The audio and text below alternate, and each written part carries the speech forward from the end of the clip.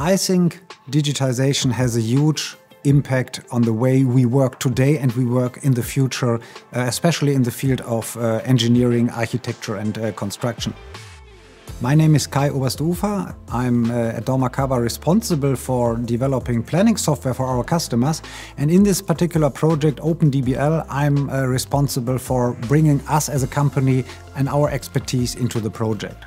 OpenDBL, to make it short, is a EU-funded large-scale project aiming at developing an open digital logbook for a building. So we are creating a platform where we bring all the kind of data sources together starting from BIM objects, laser scanning, artificial intelligence, but also combining it with ontologies, modern data-driven aspects, and have a complete logbook that can be used later on by the building owner and by different parties to operate the building more efficiently to get better buildings in the future. When I heard the first time about OpenDBL and uh, we as uh, dormakaba were asked whether we would like to be part in this in this project, I see a lot of parallels to what we do internally. So where we think about buildings must be more intelligent, data must be more used, and talking about an integration uh, about different aspects of a building into one system, that was the most interesting part um, of OpenDBL. And that's why we said, yes, this is exactly what we want to do. This is exactly in the direction we want to move on.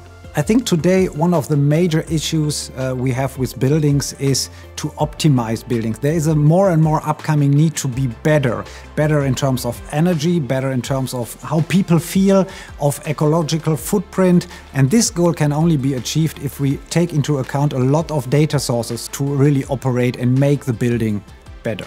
Sustainability is a very important factor and especially OpenDBL can bring huge benefits here um, because we not only concentrate on individual aspects of sustainability, saying this product is better or this, this component is better, we include the complete data set, a footprint, a fingerprint of the building in terms of data into the account and optimizing the whole system. This complete holistic view of the data uh, simply makes it easier to make the right decision for modernizing existing buildings. A CDE, a Common Data Environment, is, is kind of state of the art today to work collaboratively on projects.